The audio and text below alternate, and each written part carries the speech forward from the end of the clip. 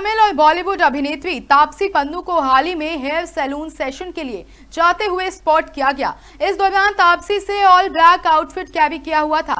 Actress ने black maxi dress पहनी थी और उसे ब्लैक फ्लैट्स के साथ पेयर किया हुआ था। तापसी का लुक काफ़ी सिंपल और एलिगेंट लग रहा था।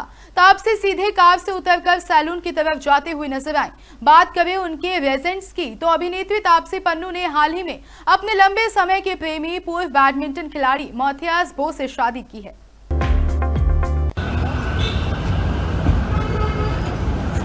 ताप्ती जी। गुड आफ्टरनून आपसी मैम। कोई नहीं।